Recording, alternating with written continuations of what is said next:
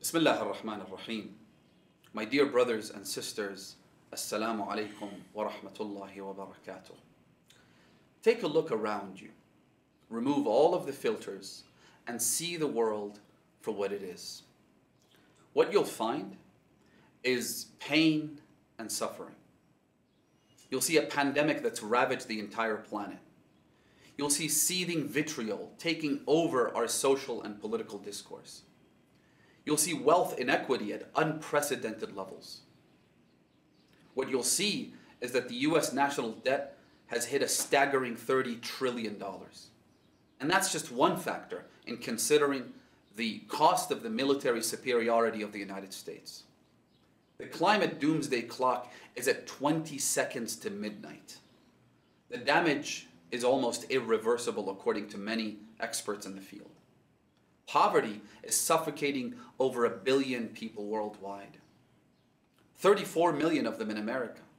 And don't even get me started on politics and conflict and war and death and carnage. Humanity is like a rat in a labyrinth.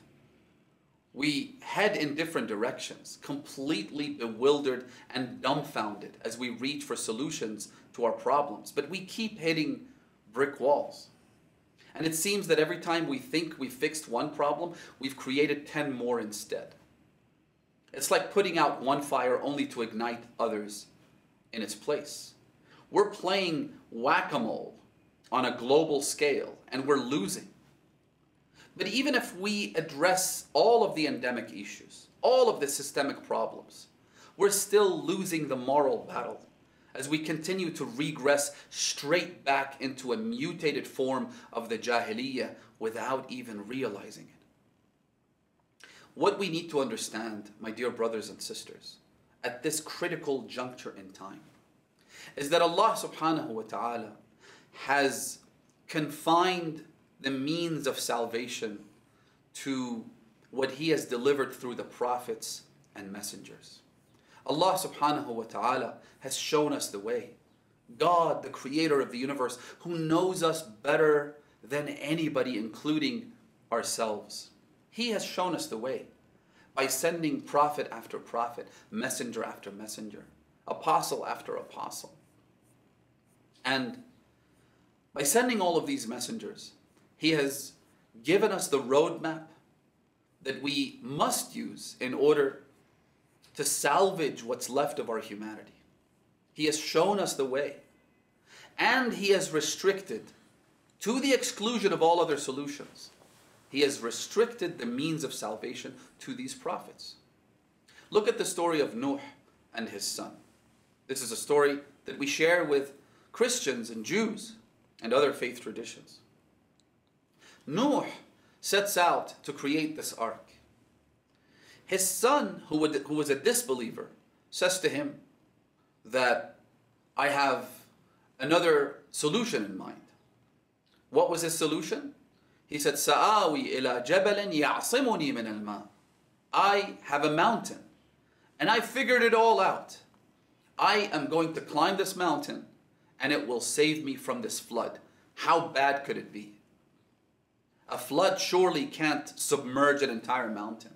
So I know what to do. I have my solutions. I don't need you to tell me how to live my life. I don't need God to dictate my lifestyle. I don't need prophets and messengers telling me what's right and what's wrong. Sound familiar? So he says to his father, I'm going to climb this mountain. What does Nuh say in response? He says, لا عاصم اليوم من أمر الله إلا من رحم. No one can be saved today from God's command. No one can find refuge other than the way that God has provided us, which is to board the ark. No one can be saved except those that He has bestowed His mercy upon, meaning those that follow the guidance of these prophets. وَحَالَ بَيْنَهُمَ الْمَوْجِ It was at that point in the conversation that a wave came and separated between the two of them. فَكَانَ مِنَ الْمُغْرَقِينَ And Noah's son was among those that drowned. So, our prophet, the seal of messengers, then comes along and says, مثل أهل بيتي فيكم كسفينة نوح the example, the similitude of my family, my progeny among you is like the ark of Nuh. من ركبها نجا ومن تخلف عنها غرق وهوى. Whoever boards this ark will find salvation, and whoever fails to do so will surely drown. He or she will perish. No matter what you think, no matter what solutions you can concoct for yourself, unless you board this ark, you will drown. The ark of the family of the Prophet. And the single most important among them was Amir al-Mu'mineen, alayhi salawatullah, wal-malaika wal-nas ajma'een, the commander of the faithful. Rasulullah left him for us to seek our salvation from.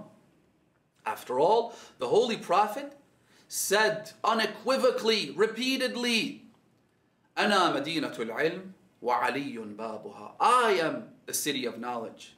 If you want knowledge, knowledge isn't just about halal and haram, although of course that is an integral and critical part of what knowledge is. Knowledge is a roadmap for life. Knowledge is how to navigate the rough seas of this life. Knowledge is how to save ourselves, to save humanity, to save the planet, to save whatever we have, the faculties that we've been endowed with. The Holy Prophet says, I am the city of knowledge.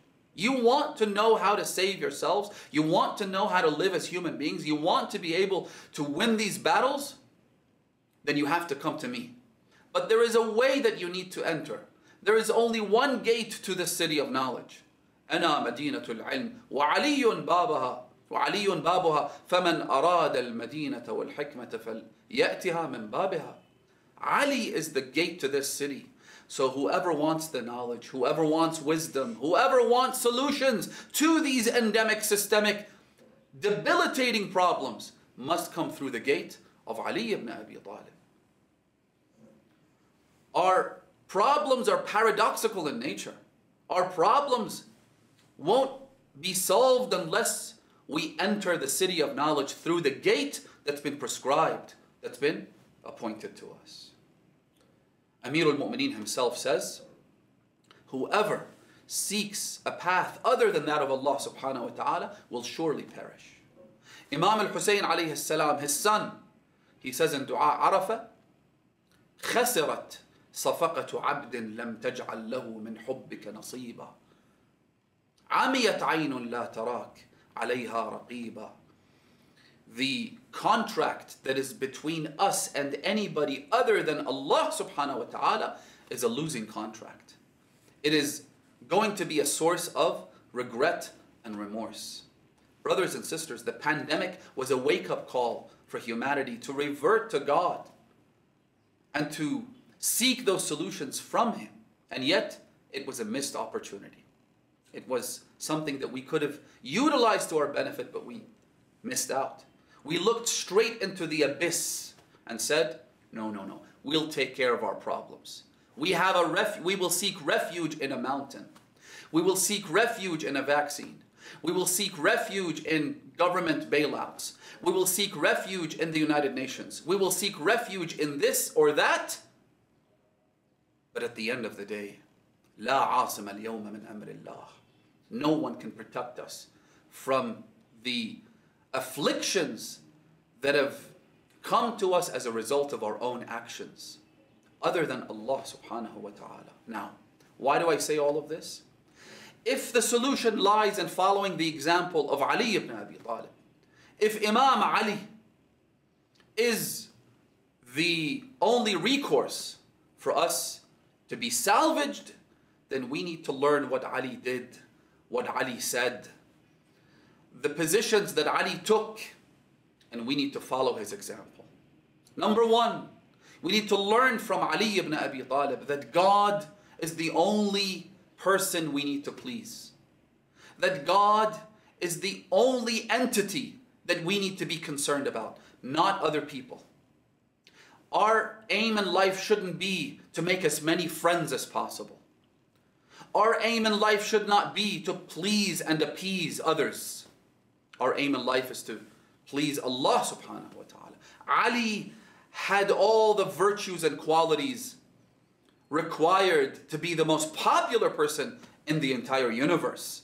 And yet, he could not care less about attracting people's respect and admiration. Ali did not seek popularity.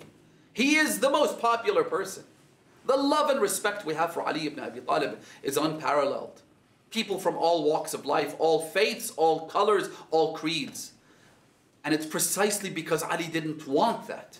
Ali, Ali didn't look for that.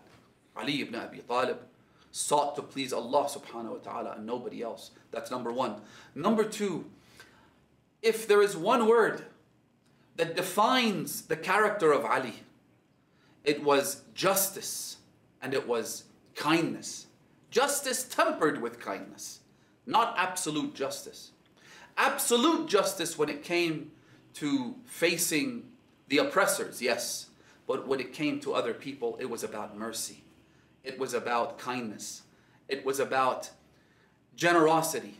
It was about philanthropy. It was about charity. It was about showing them the kind of mercy that would attract them to the truth, that would bring them closer to Allah subhanahu wa ta'ala. The same justice and mercy that we need to implement in our lives. In our lives, as people who are married to our spouses, our marital lives should be defined by justice tempered with mercy, by knowing the rights and responsibilities, but also going above and beyond. That we shouldn't be self centered. It's not about us.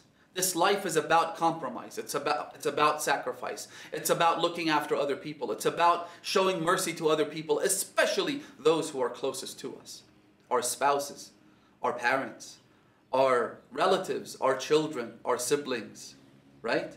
The kind of justice and mercy we seek from Ali ibn Abi Talib and his example that we should implement in our communities, that we should implement in our families, that we should implement in our tribes and the wider society, as well as the level of uh, governments and nations and countries at large. May Allah bless you all.